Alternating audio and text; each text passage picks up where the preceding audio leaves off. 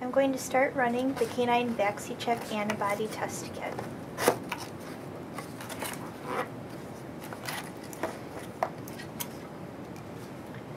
This test includes a development plate as well as the test comb.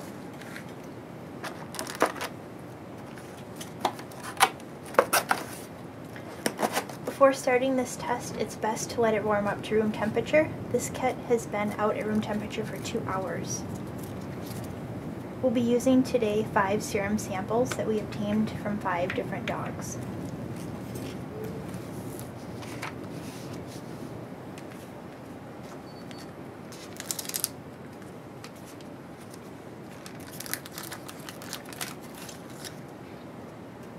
Since we have five samples, we'll be using five of the teeth on our comb. The rest of the teeth we will just replace back into the container and seal it up.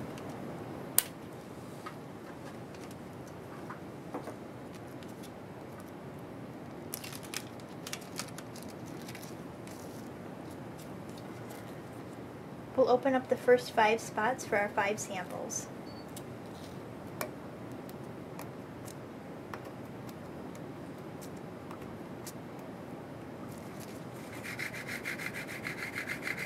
I'm just gently mixing the plate to make sure all of your reagents have been sufficiently mixed.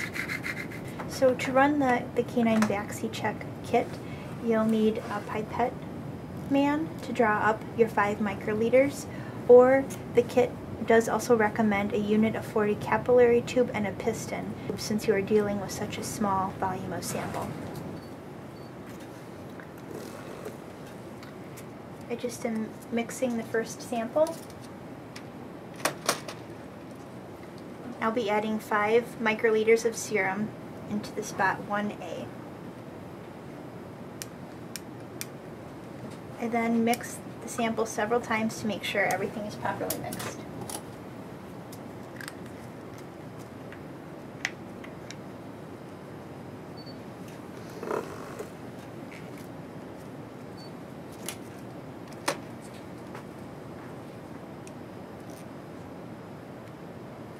Again, 5 microliters of my second sample, and I'll be putting this into A2.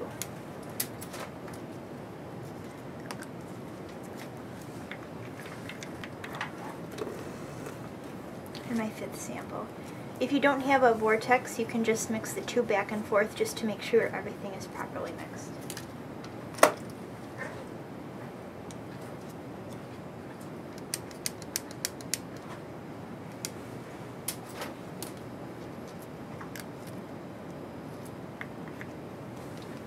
So after all of my cell, my samples have been added to the plate, I'm now going to take the comb and insert it into the samples.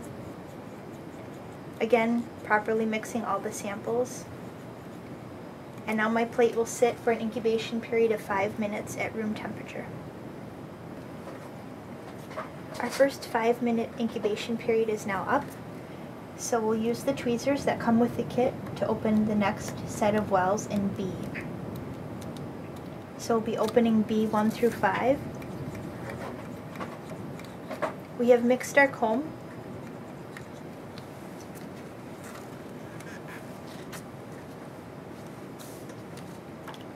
And we'll now be blotting it off just on a paper towel before we insert the comb into the next row B. Again, mixing it briefly, and now this incubation period will set for two minutes. Following the two minutes, the second incubation, we're going to open up the third row of wells, C. And again, as with our first set of samples, we're going to remove the comb and just blot it gently to remove any excess reagent from the comb. Now that it's blotted, we'll insert it into C Again, focusing on the mixing to make sure all reagents are properly mixed. The C incubation time will be for 5 minutes. Now that our 5 minute incubation period is complete, I will open the next row of test wells, row D.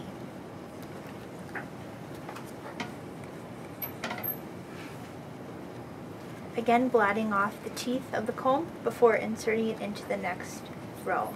This incubation period will go for two minutes. Our two minute incubation period is over, so I'll next open row E. Again using the tweezers from the kit. Before removing the comb, I'm gently mixing up and down, tapping off the comb to blot any excess reagent, and now inserting it into E. Again, gently mixing. We'll now have another two minute incubation period. Alright, our last incubation period is over, so we'll move now into the last row, row F. Again, using the tweezers from the kit, I'm opening up the last of the wells,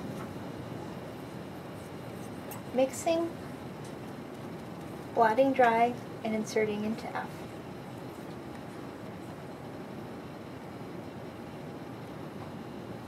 The incubation for row F will continue for five minutes.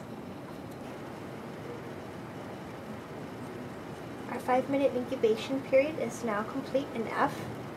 This is, as you can see, the color development stage.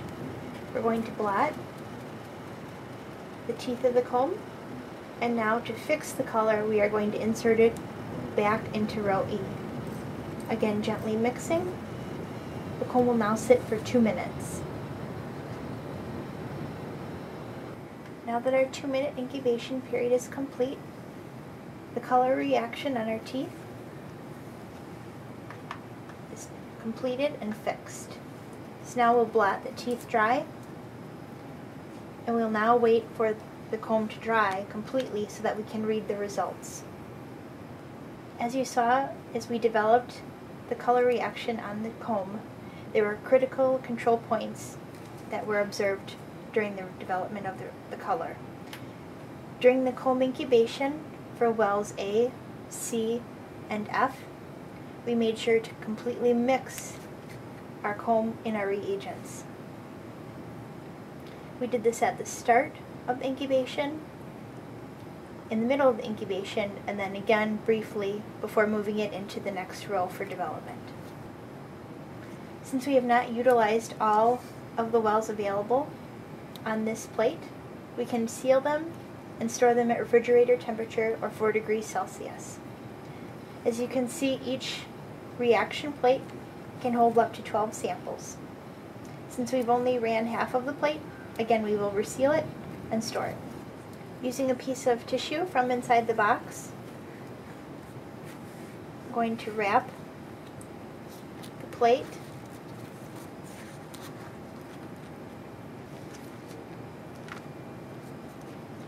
stored in a resealable bag.